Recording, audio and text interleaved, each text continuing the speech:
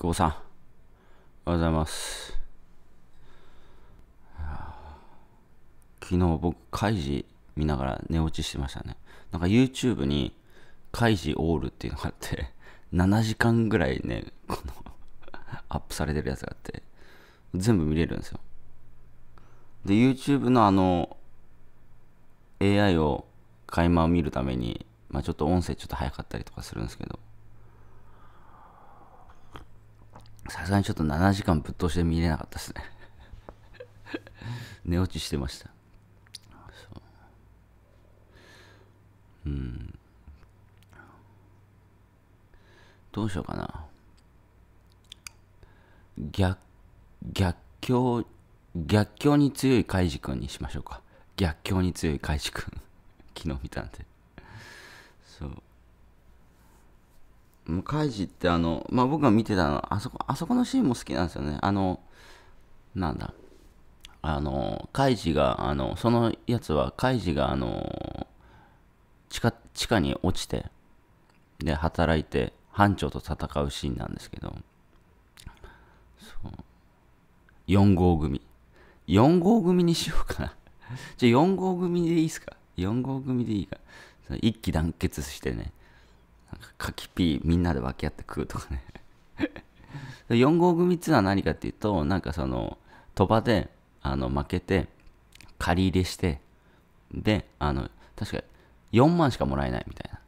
本来9万もらえるんだけども、4万しかもらえない4号組だったような気がするんですけど。4号組ですね。で、4号組は、あの、もうその9万もらえずずっと利子払い続ける4号組みたいな。だけど、正規の9万もらうまで我慢するぞっつってね。あの、全部3ヶ月間、なんだ、あの、我慢するみたいな。で、3ヶ月後勝負しに行くっていうね。そう。で、大逆転するんですけど。だか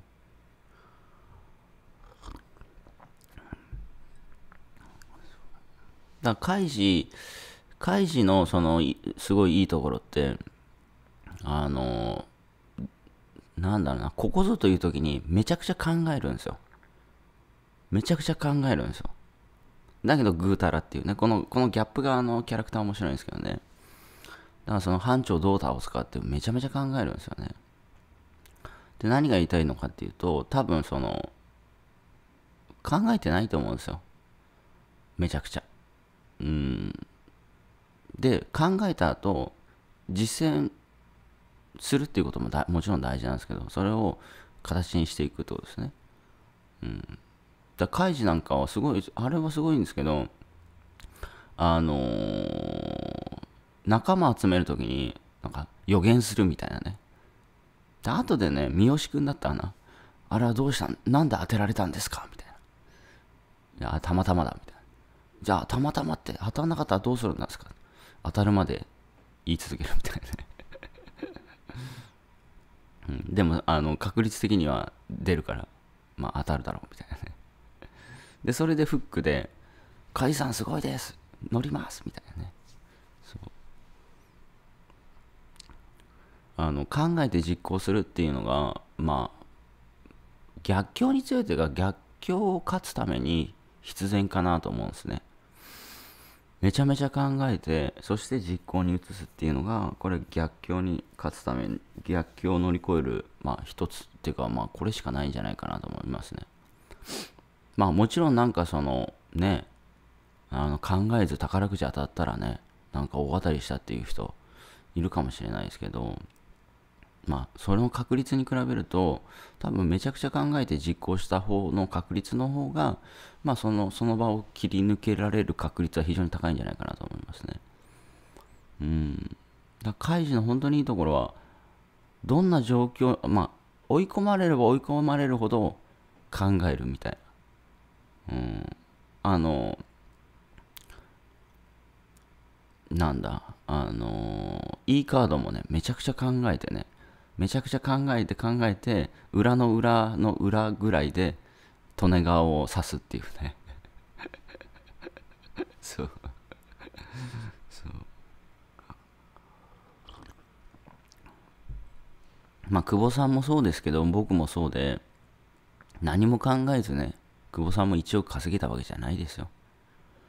3年でね。この3年間でいろいろ考えたと思います。1億稼ぐ上でね。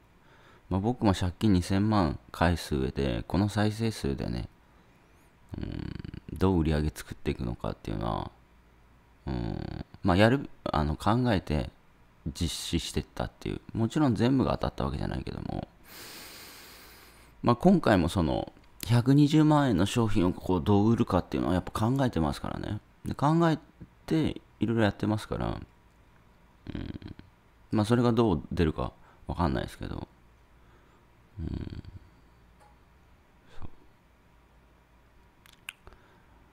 まあ、考えて実行するっていうのが、まあ、逆境を乗り越える一つの手段かなと。逆に言うと、乗り越えられない人っていうのは考えて実行してない。うん、めちゃくちゃ考えてね。うん、なんとなく、なんとなくメール受信して、なんとなくレター読んで、ほわほわしてんのかなっていう。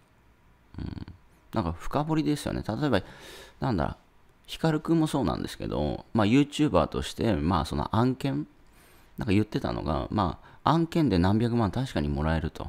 で、普通の生活してたら、その、一発やって何百万っていうのは普通じゃなくて、すごい美味しいと思うんですね。だってサラリーマンの人は1年か、1年頑張って、えー、年収200万、300万じゃないですか。YouTuber、企業から1案件で500万とかね、何百万って話じゃないですか。かそれは確かにいいんだけども、まあ、ヒカル君が言ってたのは、じゃあそその奥ですよね。待てよと。これ企業が確かにその500万とか何百万払うけども、これそそその広告費払うってことは、もっと企業さん儲けてるよね、みたいな。だということは、その、企業になっちゃえばいい。自分が商品持ってね、売る側に回った方が、めちゃめちゃ儲かるやんと。っていうことで、まあ、ね、ヒカル君はいろいろ今事業やってますから、自分で商品作ってね。うん。それはそうですよね。自分で商品作って売った方が早い。あの、それは儲かりますよね。うん。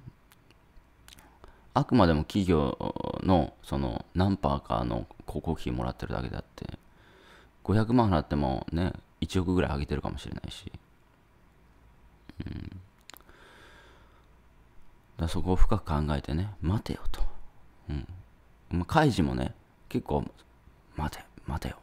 みたいなね、あるんですよ。うん。だからその班長の時も、あの、あの、その、イカ様のサイ、イカ様のサイコロを見破るのに、班長のね、こう動きを見て、目線を見てね、そう。あの目線がなかったら俺は飛びついてたみたいなね。そう。めちゃめちゃ、あの、なんだ、待てよみたいな。うん。はい。じゃ風呂入ってきます。